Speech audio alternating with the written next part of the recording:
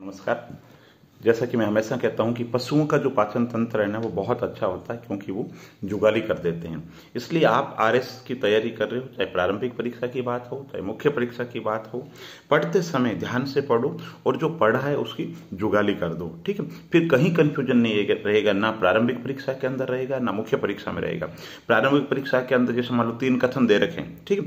अब आप कन्फ्यूज़ होते हैं। कन्फ्यूज़ कब होते हो जब चीज़ें आपको याद नहीं होती, ठीक है? अब जब उस आपको याद है तो आपको विकल्प विकल्प की नौबत नहीं आएगी, है ना? ये की ये बात मुख्य परीक्षा के अंदर है, मुख्य परीक्षा के अंतर्गत आपसे कुछ भी पूछा जाए, आपको इतना कॉन्फिडेंस आ जाएगा कि साहब, मूल अधिकार क्या है?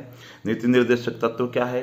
दोनों में क्या अंतर है? मूल अधिकार और नीति निर्देशक तत्वों में कौन सर्वोच्च है? किस वाद के अंतर्गत, किस संविधान संशोधन के अंतर्गत, किसको वरीयता दी गई? ये सारी चीज़ें पढ़ ली आपने, समानता पढ़ ली, असमानता पढ़ ली, आपस में अंतर संबंध स्थापित कर लिए। मूल अधिकार के बारे में पढ़ लिया कितने प्रकार के हैं, उनका क्या महत्व, ये आपने सारा का सारा पढ़ लिया। अब टीचर की मर्ज़ी है, चाहे प्रारंभिक परीक्षा हो, चाहे मुख्य परीक्षा हो, भाई हमें तो सब कुछ आता है। ठीक, तेरी जो मर्ज़ी है, वो आप अपने मर्ज़ी के हिसाब से पूछ लो, हमें सारी की सारी चीज़ें याद है। एक क्या होता है कैंडिडेट कहते हैं कि साहब हम मुख्य परीक्षा के अंदर उत्तर लिखेंगे कैसे? तो दोस्तों, चीज़ें आना महत्वपूर्ण है और जुगाली महत्वपूर्ण है, चीज़ें सारी आ जाती है। जैसे सपोज़ करो, महिलाओं के विकास के लिए। आपसे पूछा जाए, क्या अभी तक क्या क्या किया गया है? तो आप एकदम पेपर को देख करके हड़बड़ाहट में आ जाते हो कि महिलाओं के विकास के लिए जो दस पेज में हमने पढ़ा, उसको हम एक पेज के अंदर कैसे लिखे कोई दिक्कत नहीं, महिलाओं के विकास के लिए कौन कौन सी आर्थिक योजनाएँ चलाई जा रही? छह सात योजनाएँ लिख दो। राजनीतिक रूप से आरक्षण की व्यवस्था क्या कहाँ पर है? पंचायतों में आरक्षण की व्यवस्था है, क्या किया जा रहा है? प्रशासनिक रूप व्यवस्था पे क्या किया गया है? सरकारी नौकरियों के अंतर्गत क्या व्यवस्था है? ठीक है तो राजनीतिक रूप से क्या किया गया? आर्थिक रूप से क्या किया गया। सामाजिक रूप से कौन कौन से कानून बने उन कानूनों के नाम लिख दीजिए। बिल्कुल बहुत शॉर्ट के अंदर आपका उत्तर हो जाएगा। ठीक है? तो समझ गए मेरे कहने का मतलब कहने का मतलब और मतलब सिर्फ़ इतना है कि चीज़ें आपको आनी चाहिए और पशु जैसे जुगाली कर देते हैं, वैसे आप अपने भाई, बहन, मित्र, किसी को भी जो साथ में तैयारी करते हैं, उनको आप सुना दीजिए, आप अपने तरीके से फ्री हो गए। जैसे केंद्र राज्य संबंध है सपोज़ कर आपने चैप्टर पढ़ा प्रारंभिक परीक्षा मुख्य परीक्षा में पढ़ो इवन। सबसे पहले देखो साहब केंद्र राज्य संबंध है, संविधान के किस भाग में, ग्यारह और बारह के अंदर है। फिर विधायी संबंध क्या है? विधायी संबंध में सूचियों का विभाजन कर दीजिए, ये केंद्र सूची है, राज्य सूची है संवर्ग सूची है अवशेष सूची है। ये इसके अंतर्गत इतने विषय है, इतने विषय है ये ये महत्वपूर्ण विषय केंद्र में है, ये राज्य में है, ये संवर्ती के अंदर आपने याद कर लिया। अच्छा अब कब केंद्र इनमें हस्तक्षेप कर सकता है? कि साहब, ये ये पॉइंट है, जब केंद्र हस्तक्षेप कर सकता है, हो गया साहब विधायी विभाजन।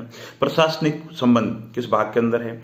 कब कब, है ना, केंद्र राज्यों को निर्देश दे सकता है? कब कब केंद्र राज्यों को कार्य सौंप सकता है? कब राज्य केंद्र को कार्य सौंप सकता है?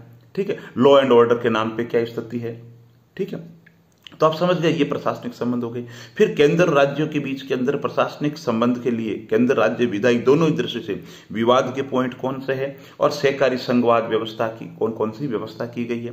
फिर वित्तीय संबंध ले लीजिए। वित्तीय संबंध किस भाग के अंदर है, ये बता दीजिए, भाग बारह के अंदर वित्तीय संबंध है, कहाँ से लेकर कहाँ तक है, वो कौन कौन से टैक्स है जो केंद्र लगाता है, उनके करों का बंटवारा देख लीजिए कि ये केंद्र लगाता है ये राज्य लगाता है इनका इस तरीके से बंटवारा होता है। फिर वित्त आयोग क्या है, नियंत्रक महालेखा परीक्षक क्या है? संविधान के अंतर्गत वित्त से संबंधित कौन कौन से प्रावधान किया गया अब ये सारी की सारी चीज़ें आपको आ गई है, ठीक है? बेसिक चीज़ आपने समझ ली। अब जो टीचर को पूछना है, अब केंद्र वित्तीय दृष्टि से कैसे पलड़ा केंद्र का भारी है तो उस पॉइंट के लिए वापस मेंटल एक्सरसाइज कीजिए। कैसे वित्त आयोग की दृष्टि से भारी पड़ता है? कैसे राज्य सरकारें लोन नहीं ले सकती? लोन पे क्या बाउंडेशन वगैरह है? कैसे उनका राजकोष से घाटा है, वो बढ़ता जा रहा है, ठीक है? महत्वपूर्ण विषय केंद्र के पास में है। ठीक है? वित्त आवंटन के अंदर राजनीति की जाती है, आरोप लगाता है। कहा जाता है कि राज्यों की स्थिति नगर पालिकाओं जैसी हो गई तो कैसे हो गई? तो ये सारी की सारी चीज़ें आपको आ गई। ये की बात भूगोल के अंदर है, ये की ये बात साइंस के अंदर है।